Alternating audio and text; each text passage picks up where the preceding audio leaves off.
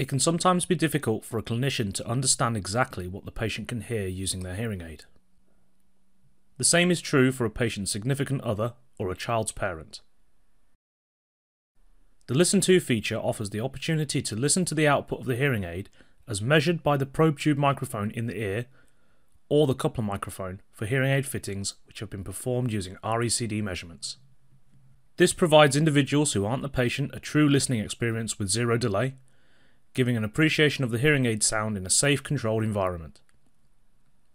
This tool can be used in the REM module, the HIT module, and the visible speech mapping module on the Affinity Compact.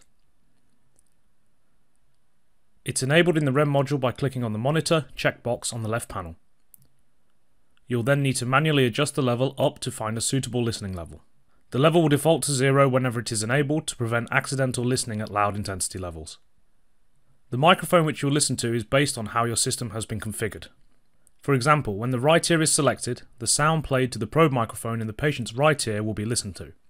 This can also work when measurements are being performed in the coupler.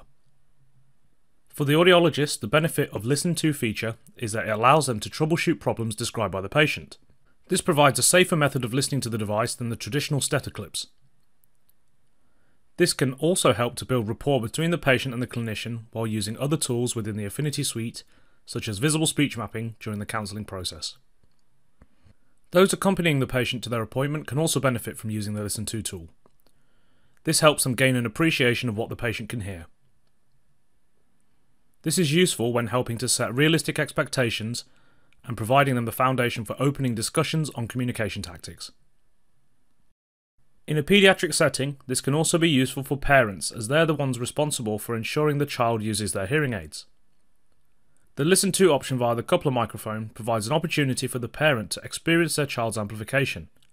And because this is via the coupler, this can be done with or without the child present in the room. This concludes this video on the Listen To tool. To further your knowledge with the Affinity Compact, please watch the following videos or contact your local interacoustics support representative.